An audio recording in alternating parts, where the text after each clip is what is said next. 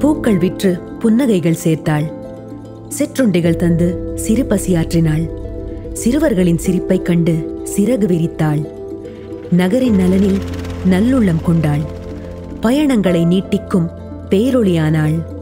இப்படி எதை கொண்டும் நிகர் செய்ய முடியாத இப்பெண்களின் உழைப்பிற்கு கிடைக்கும் அங்கீகாரம் என்ன? அனுதினமும் தன் குடும்பத்தின் அத்தியாவசிய தேவைகளுக்காக ஒரு புறம் நிதிச்சுமை போக்க வெளியில் சென்று இன்னொரு புறம் என வீட்டின் நலனிற்கும் நாட்டின் நலனிற்கும் உழைப்பை மட்டுமே தொடர்ந்து தந்து கொண்டிருக்கும் இவர்களுக்கு நாம் தர வேண்டியது ஒரு நாள் உதவியா? சில நாள் ஆதரவா? அவர்களுக்கான உரிமையை வாழ்நாள் உரிமையை.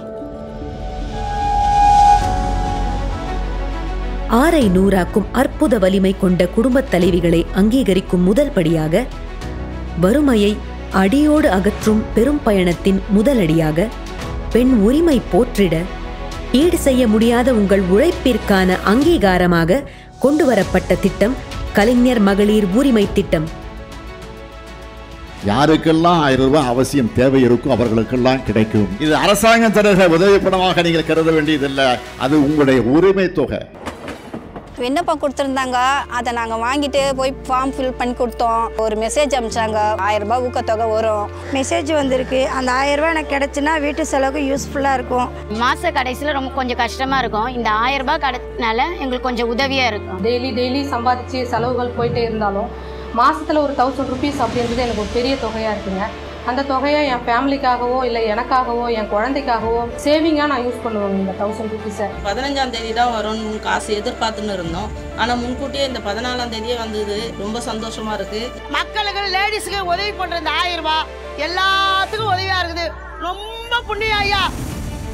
பெண்களின் வாழ்க்கை தரத்தினை மேம்படுத்தவும் சுயச்சார் பெண்கள் வாழ்நாள் முழுவதும் வலம் வரவும் முத்தமிழ் அறிஞர் கலைஞர் நூற்றாண்டில் ஆயிரம் ஆண்டு பேசும் மற்றும் ஒரு மாபெரும் நலத்திட்டம் கலைஞர் மகளிர் உரிமை திட்டம்.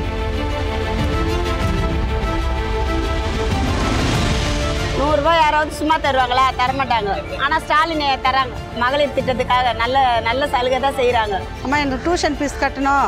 எனக்கு கொடுங்கன்னாக்கா ஐயா போட்டாருனாக்கா அதுலேருந்து எடுத்து "ஆ, வரேன்டா பத்தாம் தேதி வரும். நான் உனக்கு கொடுக்குறேன்டா. சொல்லி ஒரு தைரியம் கொடுக்கலாம். ஒரு செலவுக்கு தான் கொடுக்க போறாரு அண்ணா. வேற என்னத்துக்கு கொடுக்க போறாரு?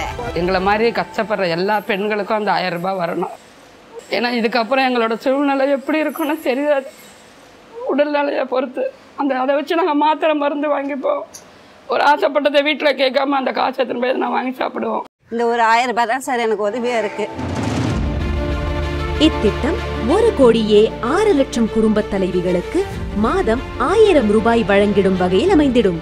சுயமரியாதை உணர்வோடு வாழ்ந்திட வேண்டும். தன்னம்பிக்கையோடு வாழ்ந்திட வேண்டும். யாருடைய தயவையும் எதிர்பார்க்காமல் தன்னுடைய சொந்த காலில் அவர்கள் நிற்க வேண்டும். என்பதற்காக உருவாக்கப்பட்ட திட்டம்தான் கலைஞர் மகளிர் உரிமை திட்டம்.